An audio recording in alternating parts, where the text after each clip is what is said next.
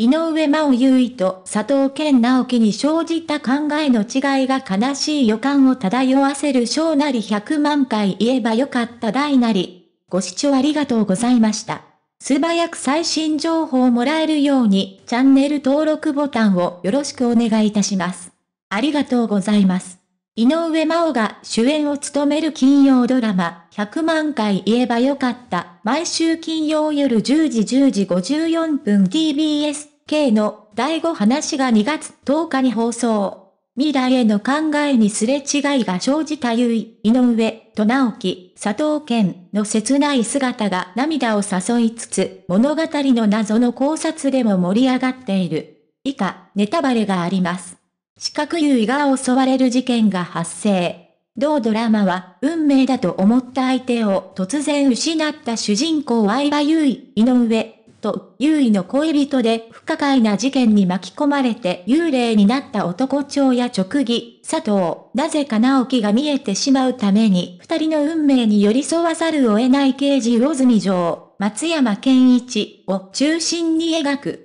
数奇な運命に翻弄、翻弄、されながらも奇跡を起こそうとする三人が織りなす、切なくて温かいファンタジーラブストーリーだ。第5話は、直樹が殺害された事件の真相が徐々に明らかになる中、優衣がかつて同じ里親のもとで過ごしたリサクラ、カリナに襲われた。リサクラは、もう何も思い出さないで、こっち来ないでよ、という言葉を残して立ち去った。四角優衣と直樹、女王が遊園地デートへ。そんな中、直樹は自分の葬儀が終わって落ち込んでいる優衣を励まそうと、女王を通じてデートに誘う。優衣が選んだ場所は遊園地。そこは里親の家で見つかった優衣とリサクラ、そして殺人事件の被害者でリサクラの同級生良家、近藤千尋が写っていた写真の場所だった。写真の日のことが記憶になかった優衣は何か思い出せるかもしれないと考えたのだ。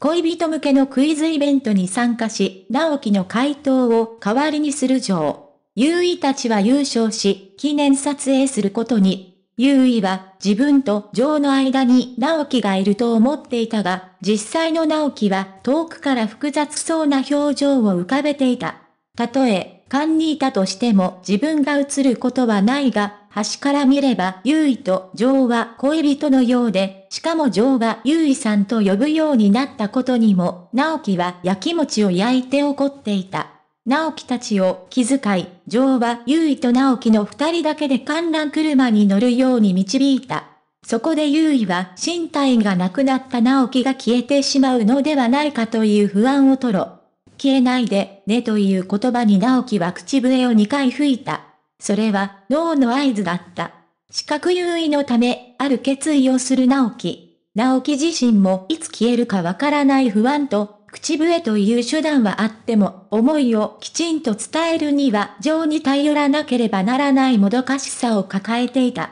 そんな時再びジョーの体に憑依した直樹は、これから先も直樹と一緒にいたいという優位に、俺たちにこの先はない、告げた。思いがすれ違う二人。どちらの気持ちも理解できるだけに悲しみが増す。第2話で描かれた過去のシーンで、絵本100万回生きた猫の感想として100万回泣いたら、その後は元気にピンピン生きてってほしいと言っていた優衣。そんな優衣のことが好きだった直樹は、優衣には新しい人生を生きてほしい、と事件が解決したら成仏することを決意した。事件の核心に迫っていく事柄もがいくつか明らかになった。優位はかつての遊園地でもリサクラからこっちこんなと言われたこと、そのリサクラたちがグミを食べる男が運転する車に乗っていたことを思い出した。また、両家のマンションの防犯カメラに映っていた男がリサクラと会い、その男が少女たちが集まるお菓子教室を開く家にいた場面もあった。今回も、金ドラ104日がツイッターのトレンド入り。すれ違う優衣と直樹の思い、また直樹が生前、優衣が欲しいと思っていた普通のネックレスを用意していたことに泣いた、切なすぎる、どうしたら幸せになるのかな、などの声が。そして事件の考察の盛り上がりも加速している。岸形文イコールザテレビジョンドラマ部。ご視聴ありがとうございました。これからも一緒に応援していきましょうね。チャンネル登録をよろしくお願いいたします。